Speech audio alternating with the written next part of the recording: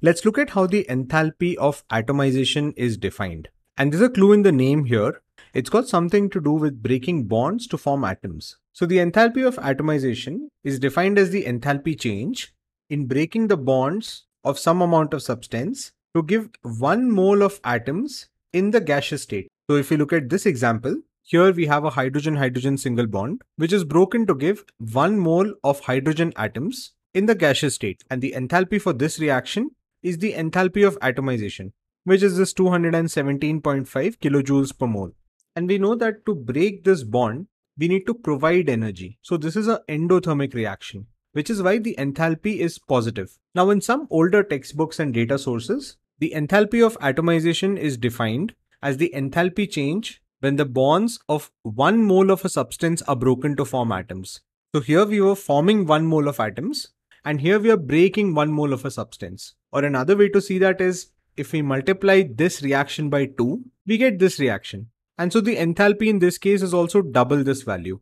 Now this is usually just a difference in the way the data is reported. So the data source that I'm using defines it in this manner. So for this video, everywhere that I've written down the enthalpy of atomization, it is for one mole of substance that is being broken down. And this difference can become important in numericals. So you need to be careful about this.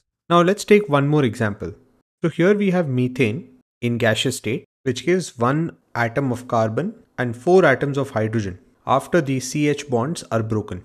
And for this reaction, the enthalpy of atomization is 1665 kilojoules per mole.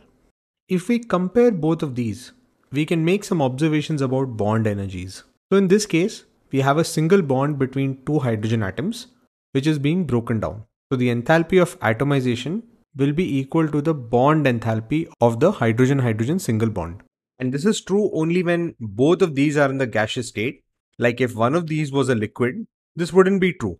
And in the same manner, if we look at methane, what we're doing here is we are breaking four CH bonds. So we know that the enthalpy of atomization is the energy required to break all these bonds. And we know that here there are four CH bonds. So can we just divide this by 4 to get the bond enthalpy of one CH bond? To answer that, let's look at this reaction in a series of steps. So let's say I start with methane and at each step, I'm breaking only one bond. So here I've broken one hydrogen bond, then successively I've broken one more and one more and finally, we have broken all four CH bonds. So what I've done is I've taken this reaction and I've written it down as a sequence of four separate reactions in which in each of them I'm breaking one CH bond. Now, if we look at the enthalpies corresponding to these reactions, we find that these are not the same, which means that for every step, the energy required to break the CH bond is different. And why this happens is that after we break the first CH bond, the remaining hydrogens may rearrange around the carbon, making it more difficult or more easier to remove the next hydrogen atom. So if we just take the enthalpy of atomization and divide it by 4, what we get is the average bond energy of the CH bond, which is 416.25 kilojoule per mole. So the point to note here is that in case of diatomic molecules, the bond enthalpy and the enthalpy of atomization are the same. But for polyatomic molecules, like in the case of methane, the energy required to break the CH bond at each step is different. So although here we are breaking 4 bonds, when we divide the enthalpy of atomization by 4, what we are getting is the average bond enthalpy of a CH bond. And also a quick check here, after breaking this reaction into different steps, by Hess's law, we know that if we add these four reactions, we can strike out everything in common and we get back this reaction. And correspondingly, when we add all these four values of enthalpies, we get a total enthalpy of atomization, which is the 1665 kilojoules per mole. Now let's go through an exercise problem connecting all these ideas. So in this problem, we are given this reaction where CCl4 in gaseous state is broken down into one carbon atom and four chlorine atoms. And we are asked to calculate the enthalpy of this reaction and the bond enthalpy of the carbon chlorine bond. And to calculate these, some values are given here. First is the enthalpy of formation of CCl4. Then we have the enthalpy of atomization of carbon, enthalpy of atomization of chlorine, and enthalpy of vaporization of CCl4. And here we are going to assume that the enthalpies of atomization that are given are given for one mole of substance of which the bonds are broken. And so maybe you can pause the video here and give this a try before we continue.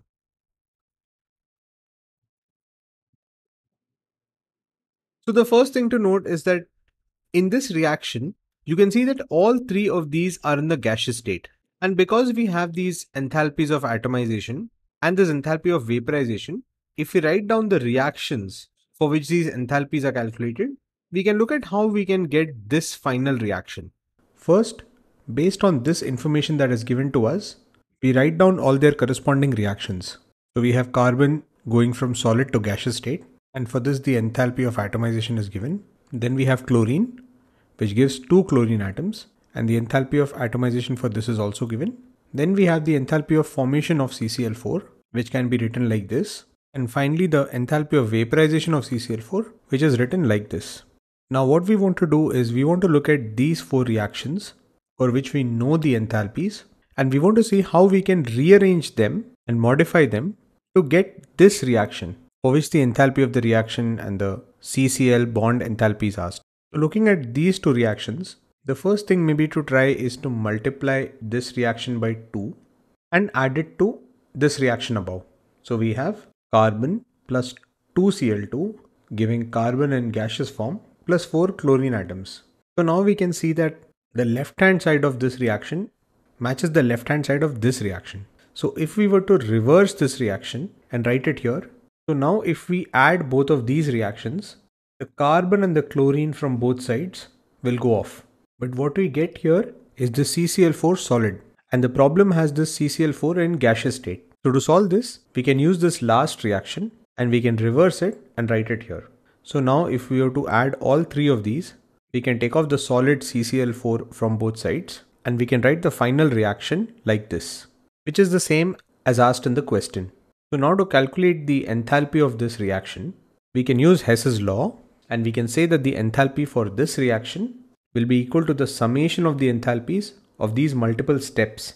And so we can write this as our enthalpy of the reaction will be equal to twice the enthalpy of atomization of Cl2 because we multiplied by 2 here first. Then we added it to this reaction. So we add the enthalpy of atomization of carbon. Then we reversed these two reactions and added them. So from here we subtract the enthalpy of formation and the enthalpy of vaporization.